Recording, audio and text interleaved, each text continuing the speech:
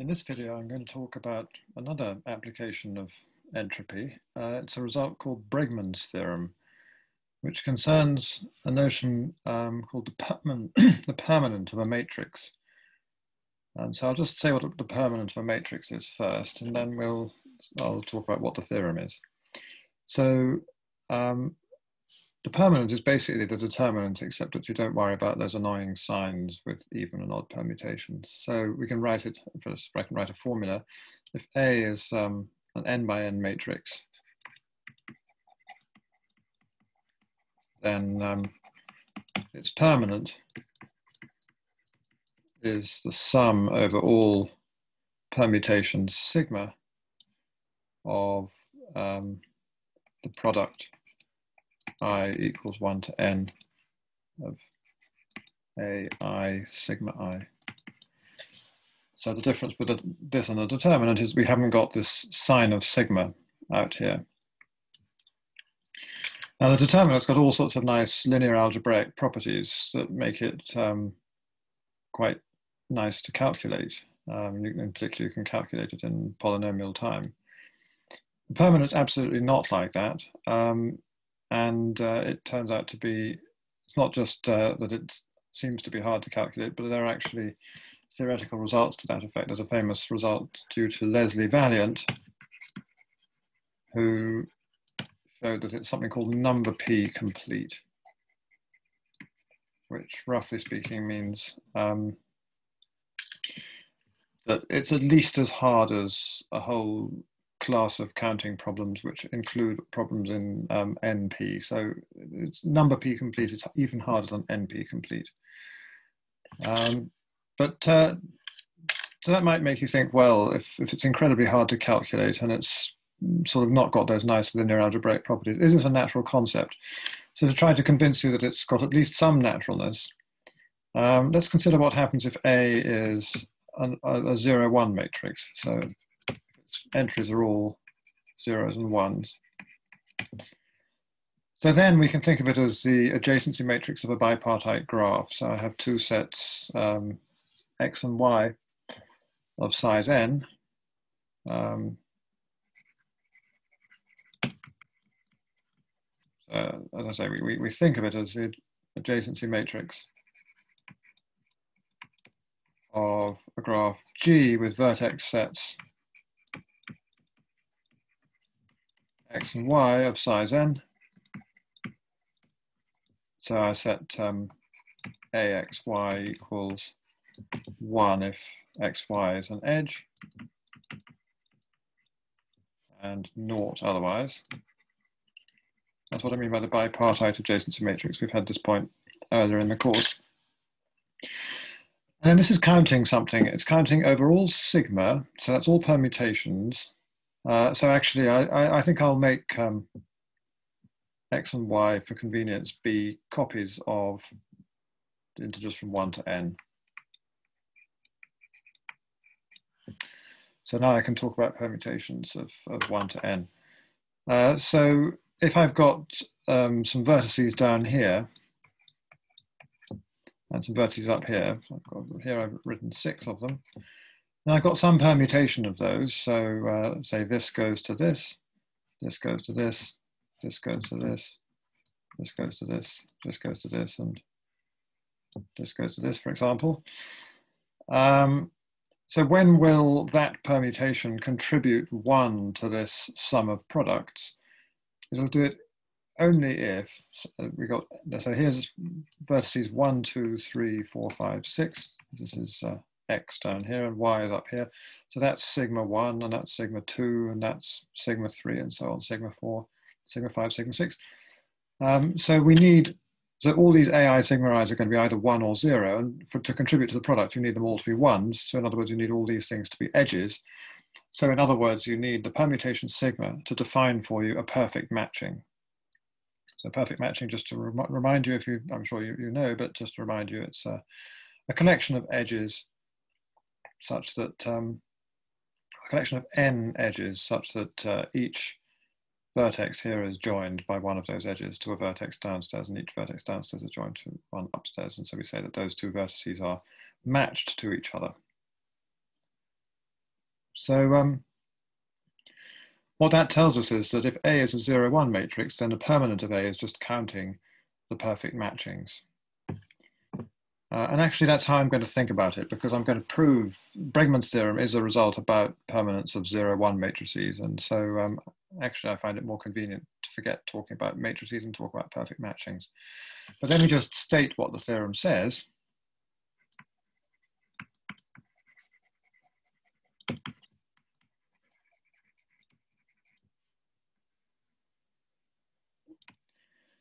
Um, let, uh, I'll state it in terms of matrices. So let uh, A be um, a zero one matrix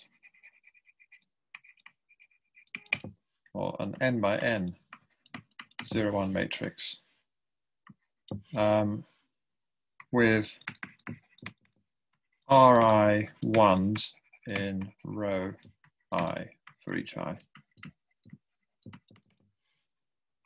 then it gives us an upper bound for the permanent. The permanent of A is less than or equal to the product i equals 1 to n of ri factorial to the 1 over ri. And if you want to get some sort of rough idea of what this right-hand side is, uh, we just go back to the approximations that we talked about um, earlier in the course. So Ri factorial I think of as Ri over E to the Ri. And so this will work out as, so when you raise to the power one over Ri, it just cancels out this Ri. So you get um, basically sort of twiddles and sort of broadly speaking, it's like e to the minus n times the product i equals 1 to n ri. But uh, this is more exact in certain situations. So let's just consider, for example, uh, a very special case. So if, uh, just to show that this can be sharp, so if A is entirely 1, then the permanent of A is easy to calculate because every single permutation contributes one and there are n factorial of them, so we get n factorial. But let's see what this formula gives us. It gives us the product i equals 1 to n of n factorial because now there are n ones in each row raised to the power 1 over n. And that is, of course, just n factorial because we've multiplied this thing n times so um, it's sharp in that case. And also a nice simple thing to see is that if you ever have a matrix that's like this, A, B, 0, 0, a sort of block matrix, um, the permanent of this thing here is the permanent of A times the permanent of B. But also this expression here for, for the whole matrix is this expression for the first few rows times this expression for the last few rows. Uh, so we also get that these things multiply. Um, so if I call that sort of f of a, then I'll get that f of this matrix is f of a times f of b. So that tells us that any matrix that's made out of a sort of a whole bunch of blocks, um, by induction it tells us that uh, it's made up of a whole block, bunch of blocks of ones, um, and zeros everywhere else. Uh, for such a matrix, uh, Brégman's theorem will be sharp. Right, so now let us think about how we're going to prove it. Um, and before I do that, I will just restate it in terms of perfect matchings. So equivalently,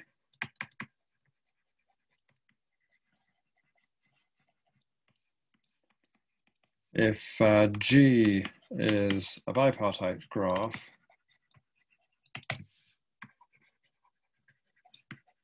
with vertex sets x, y um, of the same size. I don't think I need to say that they have size n, but I, I reserve the right to do so. Uh, then the number of perfect matchings in G.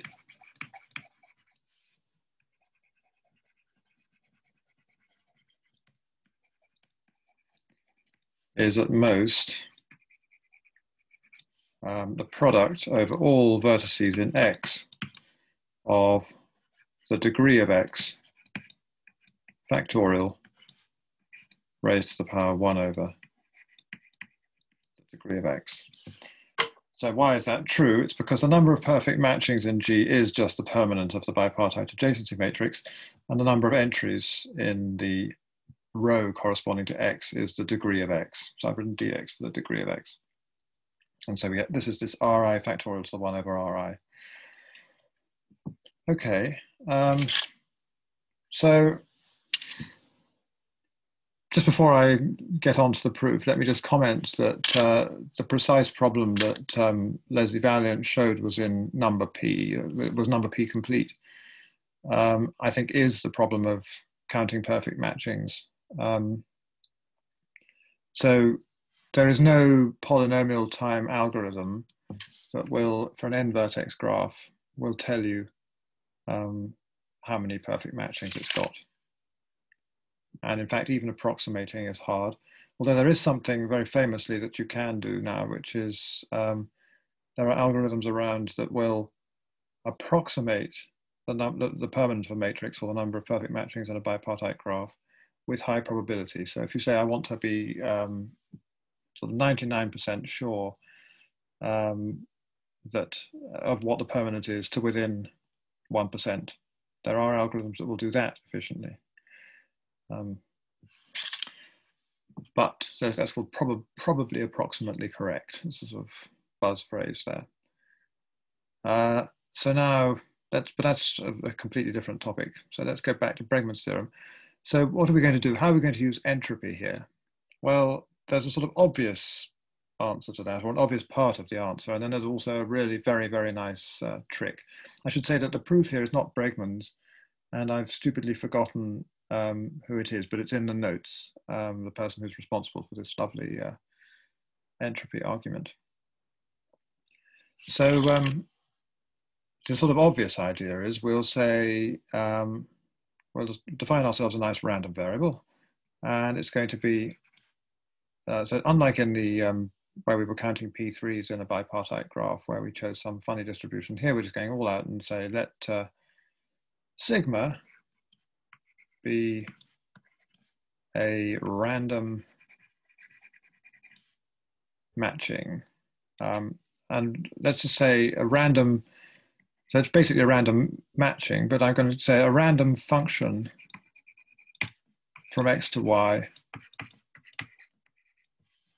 that determines a matching.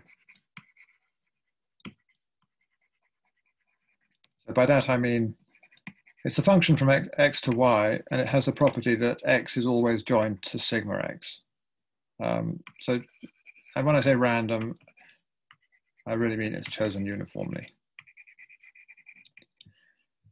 So if we can work out the entropy of sigma, or at least get a, an upper bound for the entropy of sigma, that'll translate directly into an upper bound for um, the number of matchings from x to y, because I've chosen one uniformly.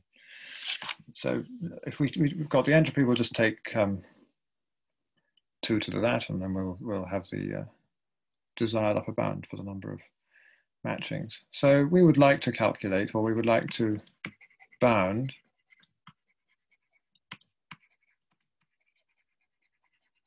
sigma. So here's what we're going to do. Uh, sorry, I said bound sigma, I don't mean that of course, I mean bound the entropy of sigma. So let x1 up to x, oh, I'm, I'm going to have to say what uh, the size of x and y is. So x1 up to xn be um, an enumeration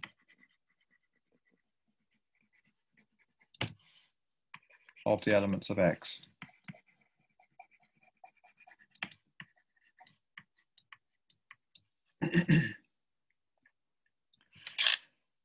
And now let's apply the chain rule to this. Um, so first of all, we will observe that uh, sigma is entirely determined by what sigma x1 is, what sigma x2 is, and so on up to sigma xn. So perhaps I'll, I'll write that. So sigma is determined by sigma x1 up to sigma xn. So I'll write that. So we've got a random variable here.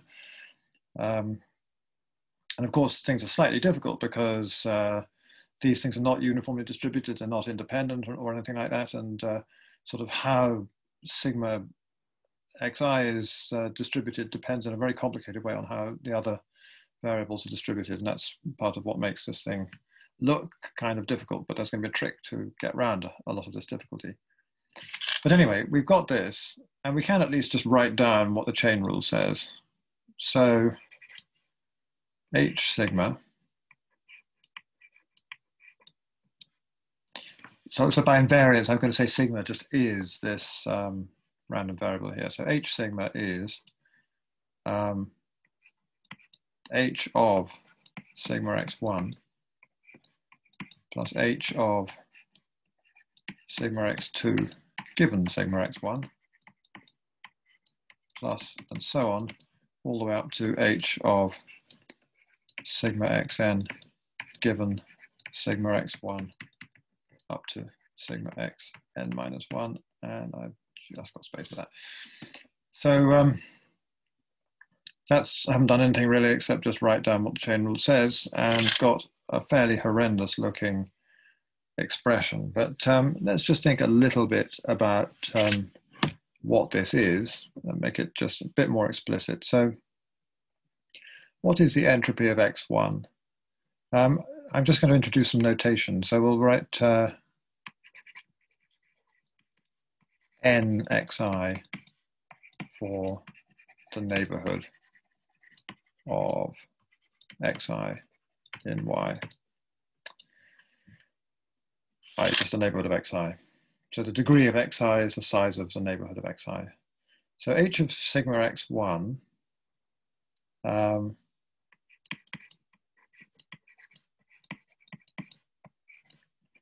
is just uh, the log of the size of nx1, which I could write as, well, here I will, but uh, is not going to be so easy in a moment. So it's the log of the degree of x1, and logs are still to base 2.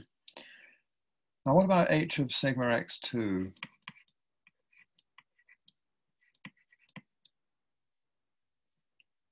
Um, given sigma x1. Um, well, it's going to be the log of, now, what if we know what sigma x1 is, oh, sorry, I've, I've, I've just said something that's not quite true, but uh, we can correct it very, very easily. So we don't know that sigma x1 is uniformly distributed amongst all its neighbors but we do know that we're looking for an upper bound. So it's no that this entropy is no bigger than it would be if it were uniformly distributed amongst its neighbors. That's what I meant to say before. And similarly, this is going to be a, an inequality, not, a, not an equality.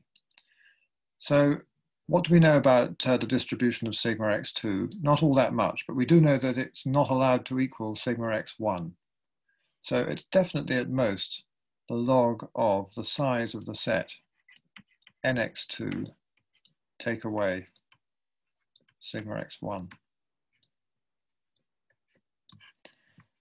And in general, um, we get that uh, h of sigma xr given sigma x1 up to sigma xr minus 1. So that's what a general term from this uh, big sum here looks like. That's going to be less than or equal to log of the size of n of xr, not including sigma x1 up to sigma xr minus 1.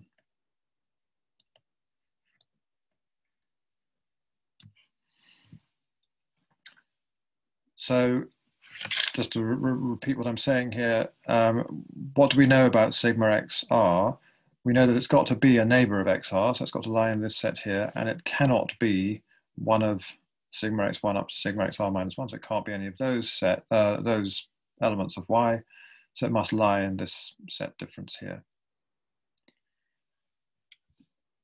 Unfortunately, these things look um, kind of hard to uh, calculate as well. But now comes the really clever idea, which is we do two things. We'll fix sigma, which seems odd because we're um, trying to work out its entropy. Um, so we'll fix whatever what the permutation sigma is, and average over all possible enumerations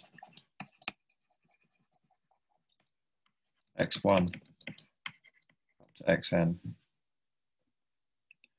Okay, so for, for any given sigma, uh, we're going to treat this sort of expression here, or actually in particular the right-hand side, as a random variable that depends on the particular enumeration x1 up to xn. So it'd be some permutation of the elements of x, giving me my x1 up to xn. So what is,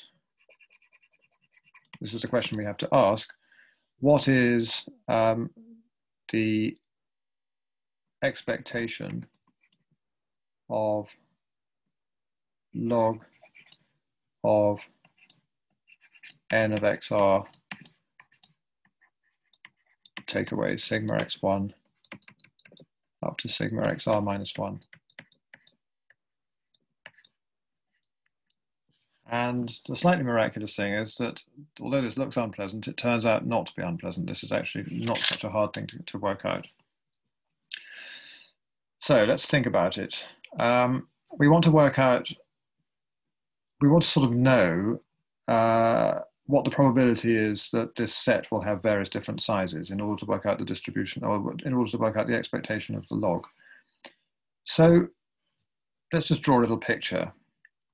Uh, let's consider for each vertex, actually, I'm not going to, this is not quite what I'm going to do. Um, what I want to do is the following. I want to say,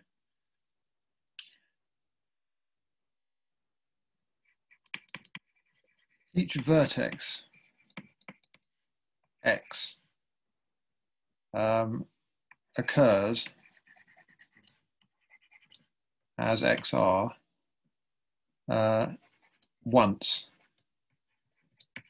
in the uh, sum. So the sum that I'm talking about is the sum of all these terms on the right hand side. So just to say by the, the, the chain rule we had, this thing here, and then I've replaced all these terms here by upper bounds that I've obtained in this way. Um, and so each x, when we take our random um, enumeration, will be one of these xr's. So actually the real question is, uh, so what is expected. So actually, I think I'll just even just cross this out because it's actually slightly misleading.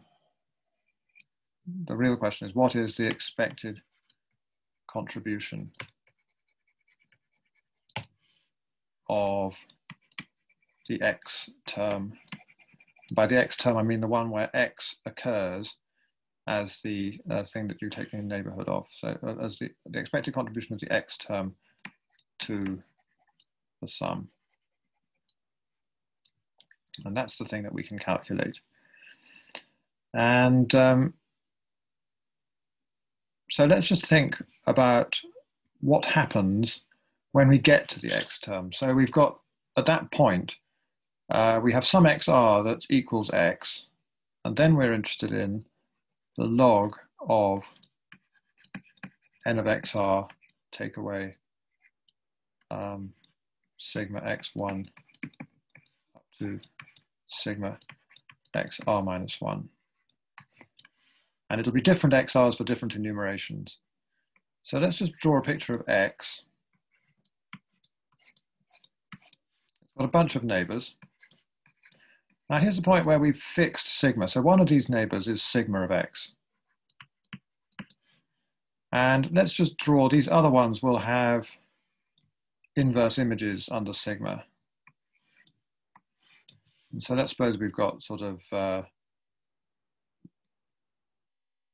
mm, I call it U1, U2, U3, up to UK. So U1 up to UK are just, uh, and K equals the degree of X minus one.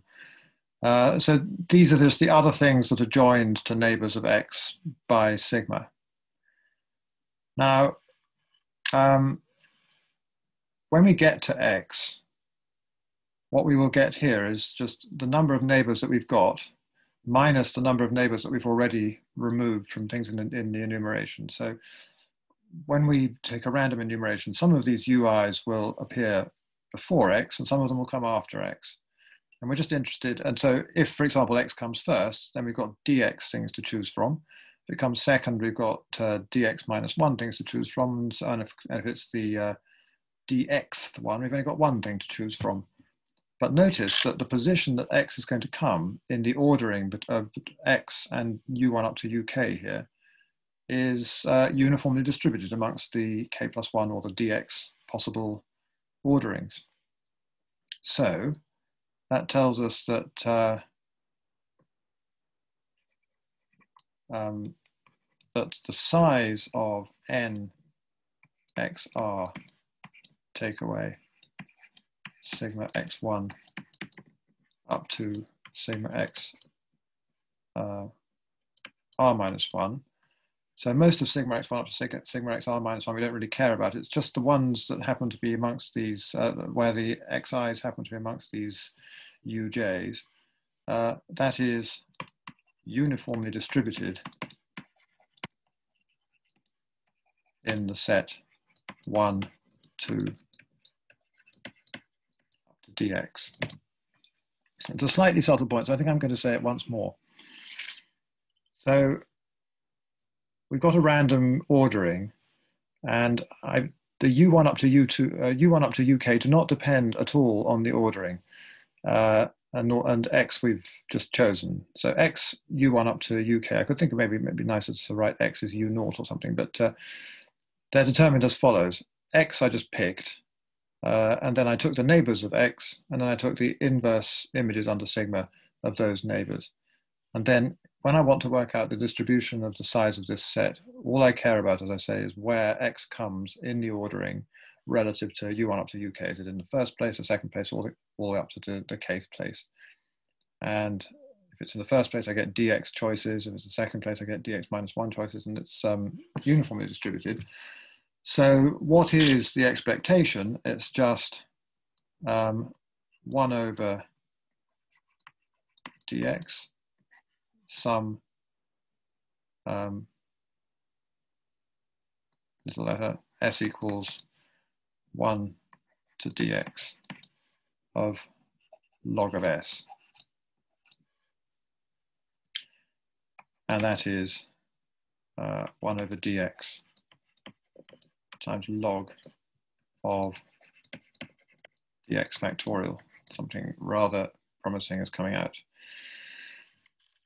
Um, so that was the contribution from x to the sum of all these upper bounds. And so the entire sum is going to be, or it's, it's the entire upper bound is going to be the sum over all x of 1 over dx log dx factorial. And remember that, now, what have we just shown? We've shown that for each sigma, um, the sum of all these things here um, is on average at most this so now average over all sigma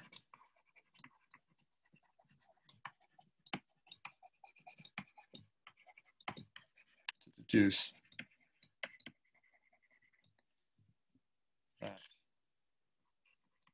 h of sigma is less than or equal to the same upper bound.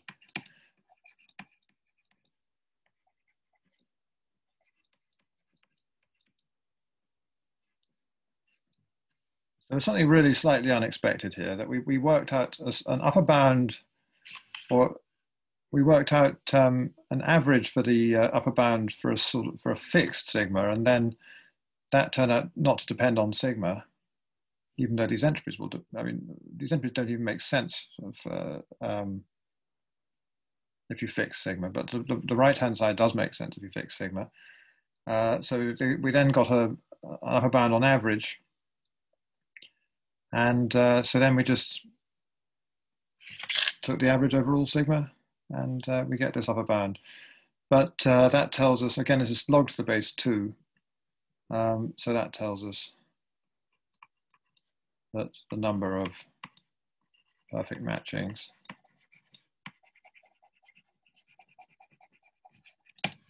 is less than or equal to 2 to the this, which is precisely uh, the product over all x of what of dx factorial the 1 over dx, i.e. what it was supposed to be. Um, I don't know whether I have anything much more to say about that except uh, that it may take a little bit of thinking about just to get really comfortable with this argument, but uh, um, it really is a very, very nice idea. Uh, maybe another comment I could make is that um, although I've started using logs and things like that, um, I haven't really used all that much of the formula for entropy. I've just used the fact that the entropy of a uniform distribution on a set of size n um, is, well, um, actually, perhaps I haven't, haven't, even used that. I've used the fact that the entropy of a random variable on a set of size n is at most log n. I think that's pretty much what I've used. Uh, so not very much of a numerical thing. And it's inevitable that we'd have to use some numerical aspects of the of entropy just because if you look at what the statement is in the first place it involves some numbers. So we've got to get some numbers out somewhere. So i think this is sort of pretty close to being uh, it's not not exactly an axiomatic argument but it's pretty close to uh, yeah, it's not not using very much from the formula. Okay i will finish at that point and um, the next lecture will concern something called Shearer's lemma, which is also connected with entropy and which leads to a number of other very nice combinatorial applications.